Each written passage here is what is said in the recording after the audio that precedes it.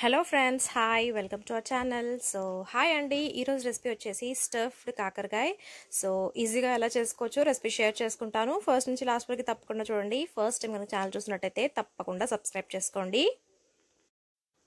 So stuffed కాకరకాయ కోసం కాకరకాయ తీసుకున్నానండి. నేను ఒక ఫోర్ కాకరకాయలు తీసుకున్నాను. సో ఎడ్జెస్ కట్ చేసుకోవాలి అండ్ మధ్యలో ఘాట్ పెట్టేసుకోవాలి. ఘాట్ పెట్టేసుకొని మనం కాకరకాయ కట్ చేసుకోవాలి. సో ఇలా ఎడ్జెస్ కట్ చేసుకుంటున్నాను అండ్ మధ్యలో నుంచి ఘాట్ పెట్టేసుకుంటున్నాను కట్ చేసుకుంటున్నాను. సో స్టఫింగ్ uh, పెట్టాలి కాబట్టి.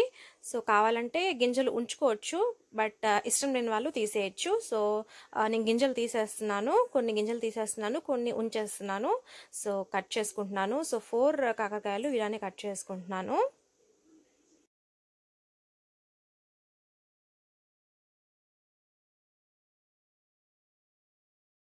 సో స్టఫింగ్ రెడీ చేసుకుంటున్నారండి ప్యాన్ పెట్టేసుకుంటున్నాను. పల్లీలు యాడ్ చేసుకుంటున్నాను. ఒక టూ స్పూన్స్ పల్లీలు యాడ్ చేసుకుంటున్నాను. డ్రై రోస్ట్ చేసుకోవాలి.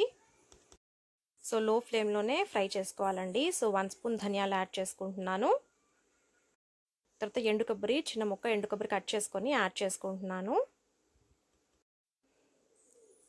సో అన్నీ ఫ్రై అయిపోయిన తర్వాత లాస్ట్లో నువ్వులు యాడ్ చేస్తున్నానండి. వన్ స్పూన్ నువ్వులు యాడ్ చేసుకుంటున్నాను. నువ్వులు కూడా యాడ్ చేసుకుని ఒకసారి బాగా మిక్స్ చేసుకుంటున్నాను. అండ్ చల్లారిన తర్వాత మిక్సీ పట్టుకోవాలి.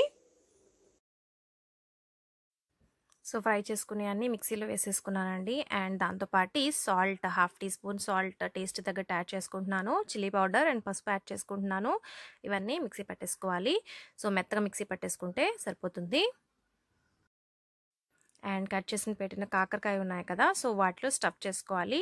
సో మసాలా ఎక్కువగా కావాలంటే ఎక్కువ స్టఫ్ చేసుకోవచ్చు. లైట్గా కావాలంటే లైట్గా స్టఫ్ చేసుకోవచ్చు. సో నేను మీడియంగా స్టఫ్ చేసుకుంటున్నాను. మరి ఎక్కువ ఫిల్ చేయట్లేదు. సో ఎక్కువ ఫిల్ చేస్తే మనం ఫ్రై చేసినప్పుడు బయటకు వచ్చేసి ఆయిల్ మాడిపోయినట్టు అయిపోతుంది. సో ఎంత కావాలో అంతే పెట్టుకుంటే బాగుంటుంది. సో స్టఫ్ చేసుకుంటున్నాను.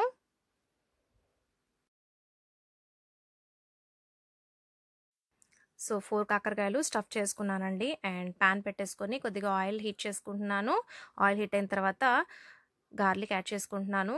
కరివేపాకు యాడ్ చేసుకుంటున్నాను. సో గార్లిక్ కొద్దిగా ఫ్రై అయిన తర్వాత మనం కాకరకాయ పెట్టేసుకొని ఫ్రై చేసుకోవాలి. లో ఫ్లేమ్లో పెట్టుకోవాలండి. లో ఫ్లేమ్లో పెట్టుకొని మూత పెట్టేసుకొని మగ్గించుకోవాలి.